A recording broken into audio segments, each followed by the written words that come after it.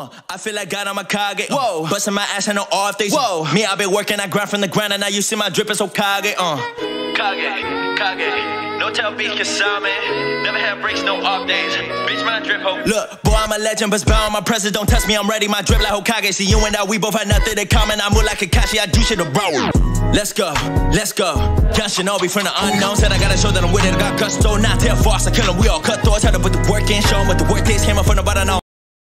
What is good, Glow Gang? My glorious things. We're back again with a new video. Boruto DLC just dropped, and it's the Karma mode. If you do not know what that is, that is part of the Otsutsukis. And listen, it goes crazy. He's got two jutsus, one Boruto stream, and two a water jutsu, which also has a secondary jutsu with pops with lightning. It is goes crazy.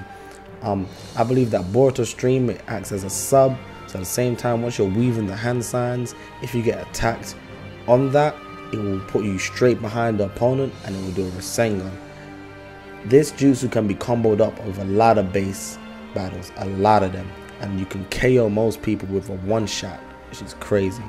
I believe that people are going to find certain different ways of using these builds and defense right now is going to go crazy with this water jutsu because this water jutsu I think is the key to Boruto. Boruto stream can get cancelled out.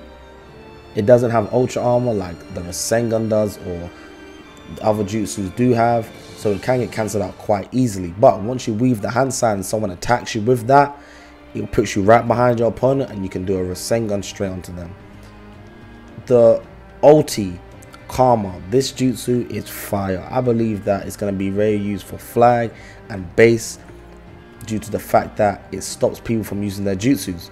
Totally, just cancels out your jutsus and resets them the longer you're in there for.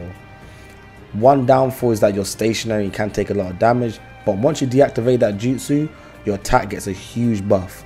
And you can one-shot people using the water jutsu, and it's crazy.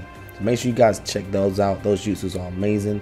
I believe this Boruto DLC isn't the best DLC, but but it does have its good jutsus. Most definitely does have its good jutsus, and people are gonna have a lot of fun using it.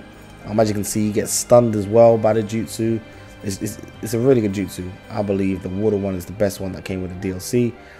Um, hope you guys enjoyed this video. Make sure you like, comment, unsubscribe for your boy Glorious. And we're on our way. We just hit 600 subs on YouTube. Thank you guys so much. Make sure you check out all the socials, the TikTok, the Twitch, all of those. I'll check y'all in the next one. Appreciate y'all. Much love. We out, Glow Gang. Yeah.